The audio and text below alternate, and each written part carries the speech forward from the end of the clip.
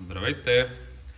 Днес ще ви покажем поредните адаптивни амортисьори на нашия пазар, които се срещат, а именно амортисьори от BMW 5 серия G30 или G30 поколение. Какво е особеното тук?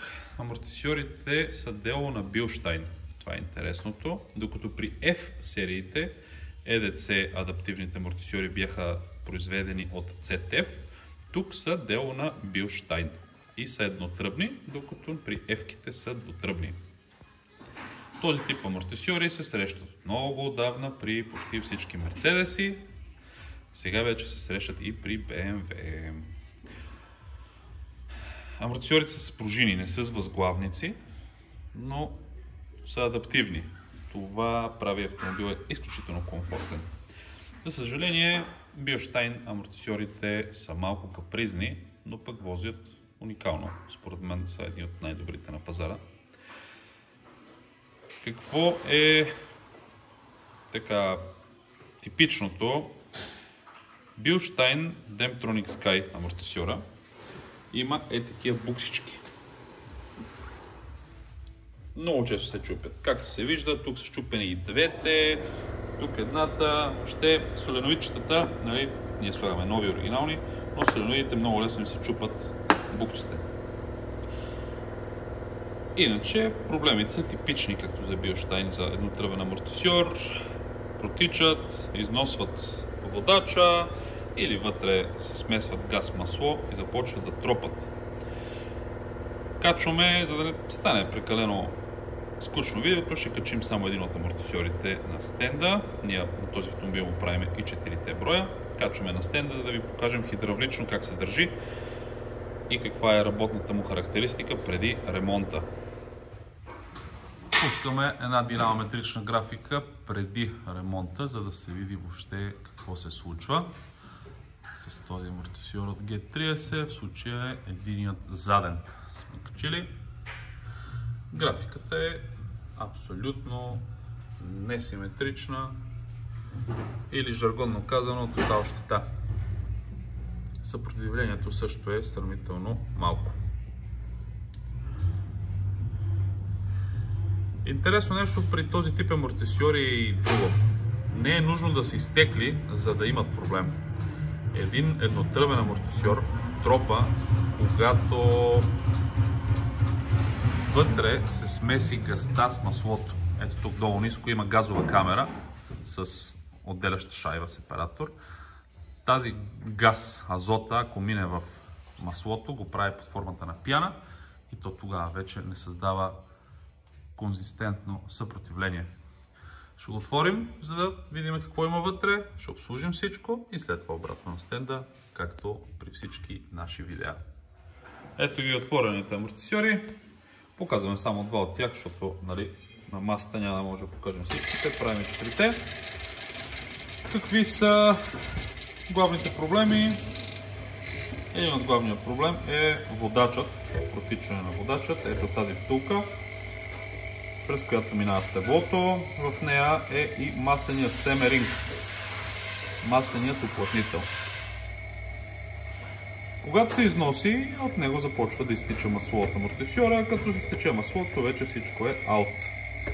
Този водач ние го сменяме с подобрен тип. Показвали сме на другите места разликите, ще я повторя, разбираш още веднъж. Този е алуминиев, сух тип. Използваме подобрен тип водач, който е разглобяем. Защо е разглобяем? За да може след време амортисьора да се сменява, да се обслужва, извиняйте. Какво му е разглобяемото? Водача, както втулката, така и масленият семеринг се сменя. Може да се отвори, да се смени само масленото уплътнение. Отделно е самосмазващ се, т.е. част от маслото минава, втората устна обира, смисъл обира остатък от маслото и смазва триенето между водача и стеблото, което го подобрява значително. Освен него, един от главните виновници за тропането на тези амортисьори е сепаратора. Това нещо седи ето тук и разделя азота, гъста от маслото. Уплътнявайки, мести се така, уплътнявайки с този опръстен. Този опръстен се, с времето става твърд и се къса. Ето и този вече се чупи като пластмаса. Заради което част от гъста преминава в маслото, прави го на пяна и когато е в пенообразно състояние, под формата на Кока-Кола, да, амортисьора започва да чука, не работи хидравлично както трябва. При G сериите почти винаги ще видите щупени соленоиди, както вече казахме, подменяме ги с чисто нови соленоиди, за да бъдеще да няма проблеми и системата за твърдяване и омекотяване да работи. Ето един с поредна щупена букса. След като го монтираме, този амортисьор го сглобим и го обезвъздушим идеално, ще го сложим на стенда, за да ви покажем как работи хидравлично как работи системата за промяна на твърдостта. Финален тест на амортисьора след ремонта, след като сме сменили всичко, което показахме току-що. Обезвъздушен безупречно, с нужното масло с правилния вискозитет. Пускаме го без управление и след това с управление, за да се види колко е мек, колко е твърд и как се променя твърдостта. Или да покажем, че всички адаптивни функции функционират. Както виждате, амортисьор е супер, супер мек в момента, защото няма управление.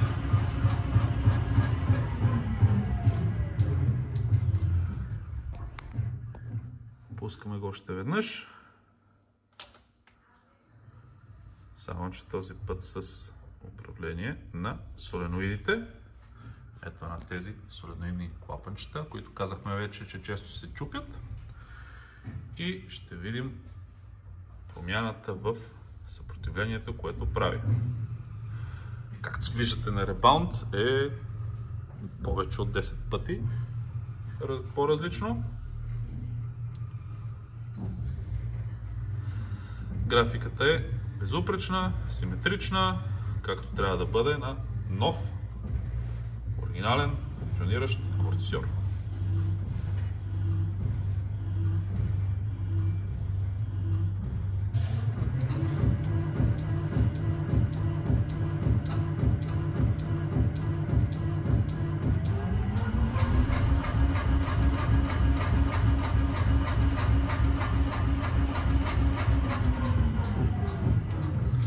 Така и както правим на повечето клипчета, да пуснем и един ръчен тест, за да ви покажем промяната в играйки си с електричното напрежение, как променяме твърдостта. Тук виждате bound и rebound, колко са и играйки си може да ги намаляваме и увеличаваме. Това нещо го прави компютърът на автомобила.